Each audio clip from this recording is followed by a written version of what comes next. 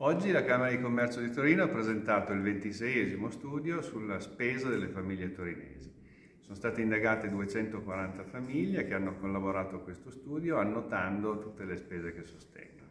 Abbiamo visto dei dati importanti per questo 2022 molto particolare, eh, l'incremento della spesa dell'energia e dell'abitazione in generale, così come quella dei trasporti, e che hanno visto una ricollocazione della spesa delle famiglie, che hanno ridotto il risparmio, hanno ridotto alcune voci di spesa come l'abbigliamento e i prodotti per la casa, ma hanno aumentato, l'unica voce importante, il, il, i viaggi perché dopo la pandemia le famiglie hanno voglia di uscire.